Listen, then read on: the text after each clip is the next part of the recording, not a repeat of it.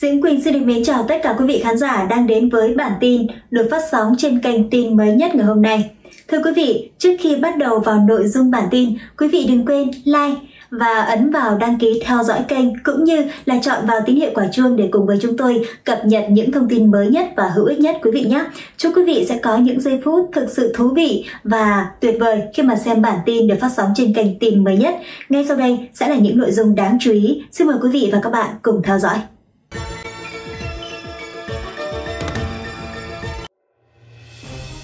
Nếu đập Tam Hiệp sụp đổ, 6 tỉnh lớn của Trung Quốc sẽ thành bình địa. Đập Tam Hiệp chặn dòng Dương Tử Trường Giang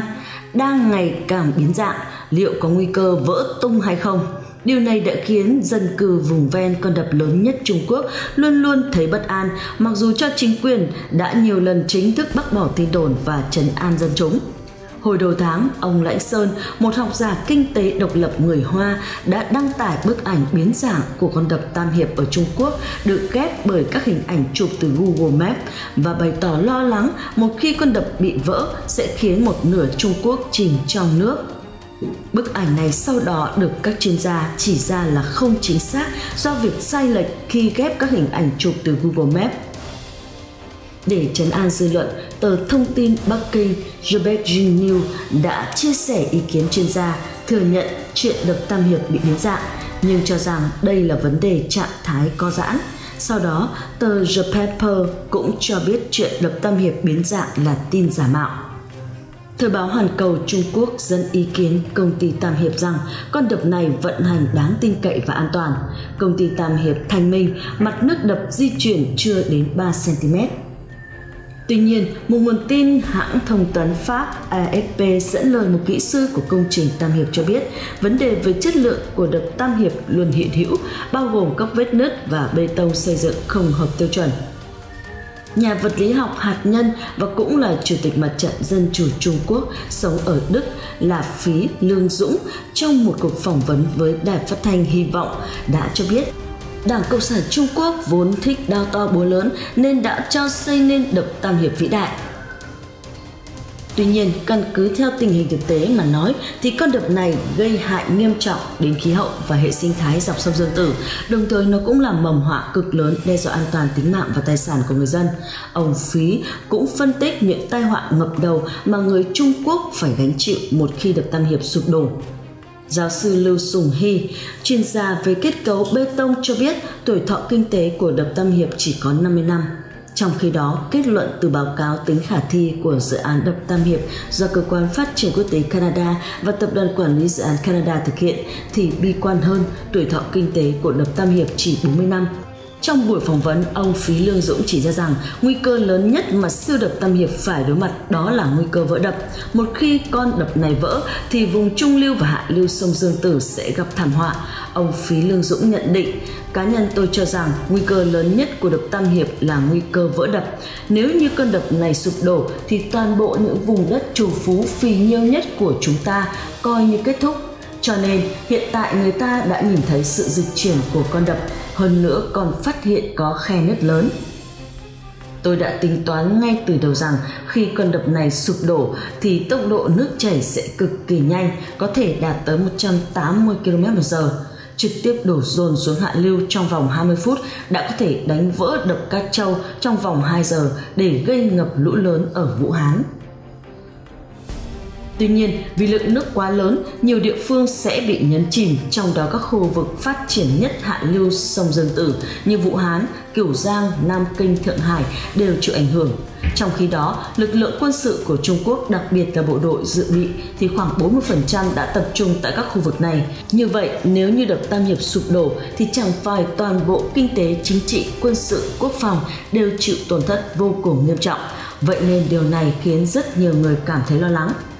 Tiến sĩ Vương Duy Lạc, chuyên gia thủy lợi nổi tiếng sống tại Đức từng nhận xét tỷ lệ đại biểu tán thành dự án đập Tam Hiệp vừa đúng hơn 2 phần 3, tương đồng với tỷ lệ đại biểu đảng viên trong Quốc hội Trung Quốc. Nếu ông Giang Trạch Dân không dùng hình thức kỷ luật đảng để yêu cầu các đại biểu là đảng viên phải ủng hộ những quyết sách của Trung ương Đảng, cứ để cho các đại biểu tự quyết định thì tỷ lệ ủng hộ có lẽ không thể quá bán. Ông Vương Duy Lạc cho biết vào năm 1996, nhà khoa học bê tông Trung Quốc Lưu Tôn Hy đã viết thư cho Phó Chủ tịch Chính hiệp Toàn quốc Tiền Vĩ Trường, cho biết ông đã nghiên cứu chuyên sâu về tuổi thọ của con đập bê tông trong và ngoài nước – Quan điểm cho rằng tuổi thọ của con đập Tam Hiệp là 500 năm hay 1.000 năm là sai lầm. Tuổi thọ của những con đập bê tông mà ông nghiên cứu ở Nhật Bản thường chỉ được 100 năm, còn tuổi thọ của các con đập bê tông ở Trung Quốc chỉ là 50 năm. Tuy nhiên, nhà cầm quyền Trung Quốc đã không nghe lời đề nghị của ông. Theo ông Vương Duy Lạc, đập Tam Hiệp không phải như tuyên truyền của chính quyền Trung Quốc chỉ từ khoảng 50 đến 100 năm là sẽ phải phá bỏ con đập này. Ông Hoàng Vạn Lý, chuyên gia thủy lợi nổi tiếng Trung Quốc cũng từng ba lần gửi thư cho ông Giang Trạch Dân khuyên không nên xây dựng đập Tam Hiệp vì xây dựng rồi sau này cũng phải phá bỏ. Ông chỉ ra tác hại của con đập Tam Hiệp từ các khía cạnh địa chất, môi trường, sinh thái và quân sự. Vào đầu giai đoạn dự tính thi công đập, ông Hoàng Vạn Lý đã dự đoán 12 loại hậu quả tai hại sẽ xảy ra sau khi hoàn thành đập Tam Hiệp ảnh hưởng bờ đê vùng hạ du sông Dương Tử, cản trở vận tải đường thủy, vấn đề di dân, vấn đề bùn tích lũy, suy giảm chất lượng nước, không đủ công suất phát điện, thời tiết bất thường, những trận động đất thường xuyên, tình trạng lây lan bệnh sán lá máu, ảnh hưởng xấu cho sinh thái, lũ lụt nghiêm trọng ở thượng nguồn, cuối cùng là sức ép gây vỡ đập.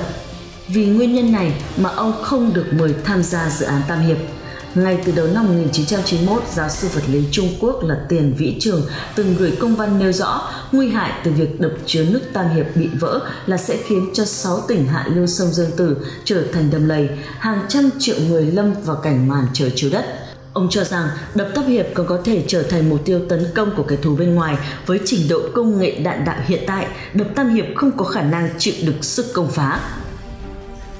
Do đó, ông Tiền ngăn cản nhất quyết không được khởi công xây dựng đập Tam Hiệp. Nếu không thì đây là một hành động ngu ngốc chẳng khác nào thanh gương khét.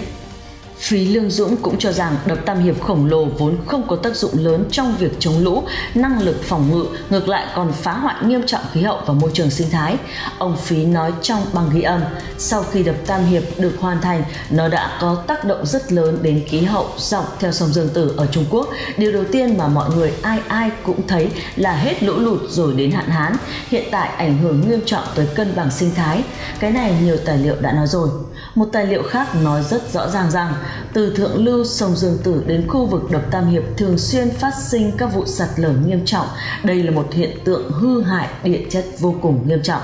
Chuyên gia thủy lợi, giáo sư Đại học Thanh Hoa là Hoàng Vạn Lý cũng từng kịch liệt phản đối dự án đập Tam Hiệp. Ông cho rằng con đập này nhanh chóng sẽ bị bùn cát ứ động, tích tụ Tuy nhiên, giáo sư Hoàng Vạn Lý đã bị chính quyền Đảng Cộng sản Trung Quốc dán nhãn là phần tử cánh hữu buộc phải im miệng.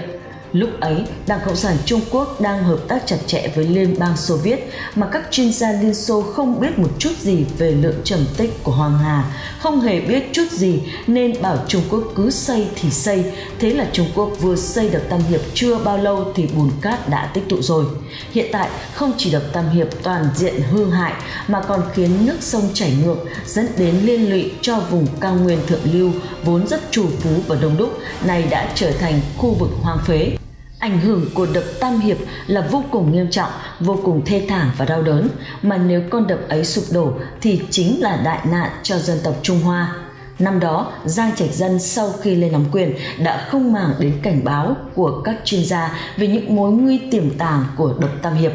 đã hạ lệnh thi công công trình. Ông Phí Lương Dũng nói, quan chức Đảng Cộng sản Trung Quốc thích đao to búa lớn nhưng lại thiếu hụt nhân cách, chính là nguyên nhân gây ra đại nạn cho người Trung Quốc những lãnh đạo Trung Quốc ở cao tầng kia, bọn họ chính là thích đao to búa lớn chỉ vì cái kết quả trước mắt mà đưa đến rất nhiều thứ loạn bát nháo, làm loạn, làm sai,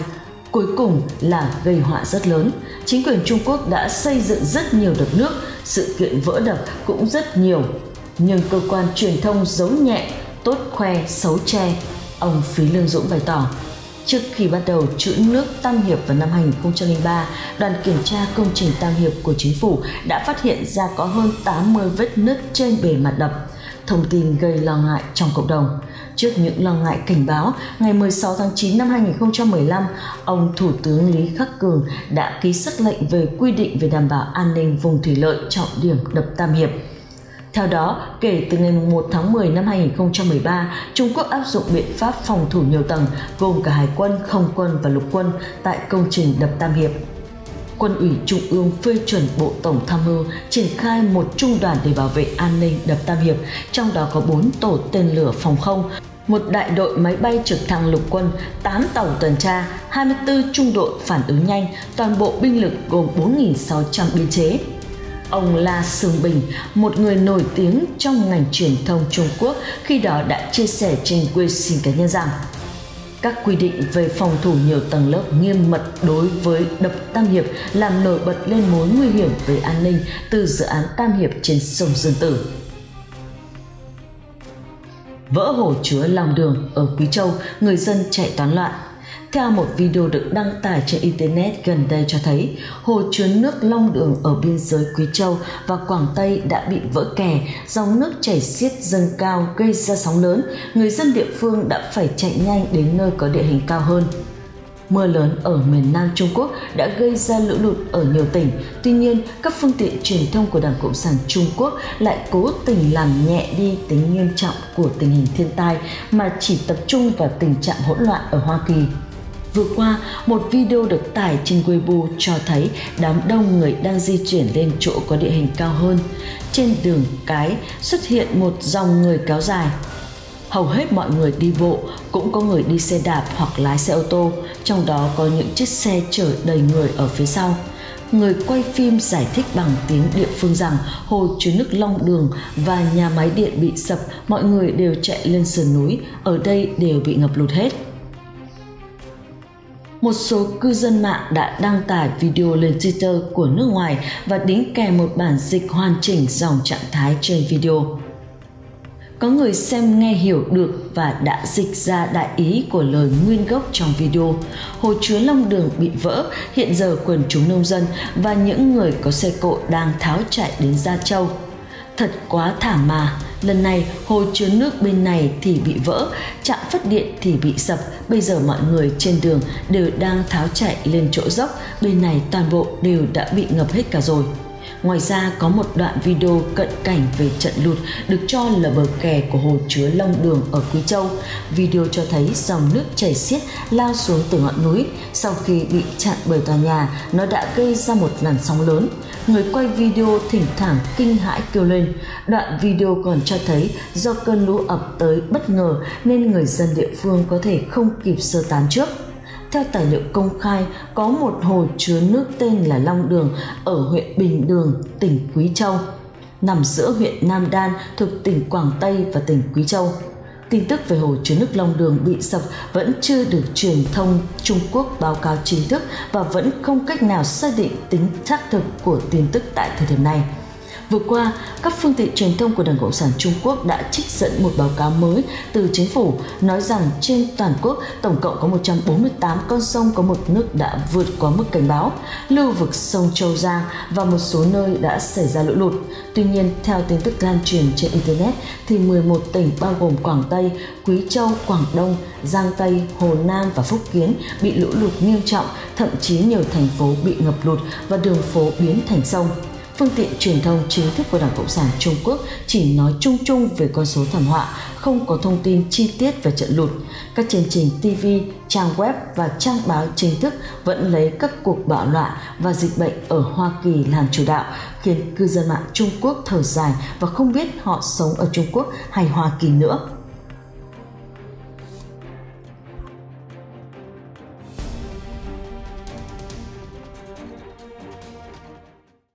Thưa quý vị, những thông tin vừa rồi đã khép lại nội dung bản tin được phát sóng trên kênh tin mới nhất ngày hôm nay. Mọi ý kiến đóng góp của tất cả quý vị xin vui lòng để lại dưới phần comment, chúng tôi sẽ nhanh chóng giải đáp. Còn bây giờ Diễm Quỳnh cùng với 30 tập chương trình xin nói lời chào tạm biệt tất cả quý vị và hẹn gặp lại quý vị trong những nội dung lần sau.